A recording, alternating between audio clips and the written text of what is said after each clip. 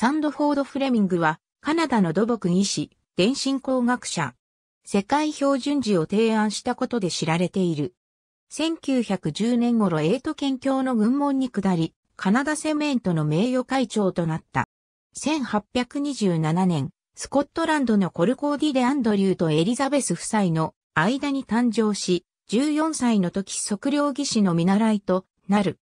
18歳となった1845年に、兄のデイビッドと共に当時植民地だったカナダへ移住し、ケベックシティやモントリオール、キングストンなどを経て、1847年にいとこのいるピーターボロに到着。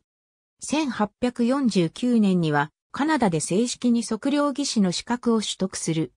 1849年に友人と測量技術者のための団体ロイヤルカナディアンインスティチュートを設立し、1851年11月4日には法人格を取得してカナダ王立協会となる。1851年に発行されたカナダ初の郵便切手となるサンペンス切手に描かれたビーバーの図柄は彼のデザインによるものである。この間、彼は測量技師としてグランドトランクレールウェイなどに雇われており、1855年にはノーザンレールウェイオブカナダのチーフエンジニアに就任し、全カナダの鉄道施行をはじめ、安全性に問題のあった木製の鉄道橋に代わって、鉄橋を建設することを提唱するなど、路線設置工事を監督した。この業績も含めた彼のそれまでの功績を称えて、1897年に当時イギリス国王だったビクトリアは彼にナイトの爵位を授与した。フレミングは後にザ・ロイヤル・レジメント・オブ・カナダとして知られるテンスバタリオン・ボランティア・ライフルズ・オブ・カナダに奉仕し、1862年1月1日には大尉に任命されており、1865年に民兵から引退した。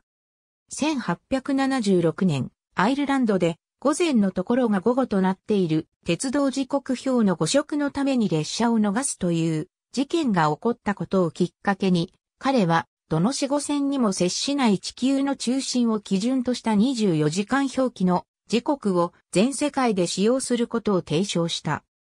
彼はこの時刻の基準を1879年2月8日にトロントで開催されたロイヤルカナディアンインスティチュートの会議でグリニッジ天文台の反対側にある子午線と結びつけ、標準的な時間帯を各地で使うことができると主張したが、他の技術者らはコズミックタイムと呼ばれる世界で単一の時間に難色を示した。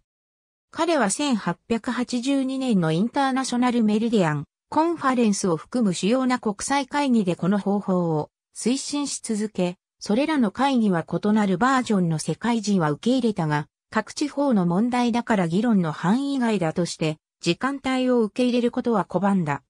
しかし、1929年までには、世界のすべての主要国が時間帯を受け入れた。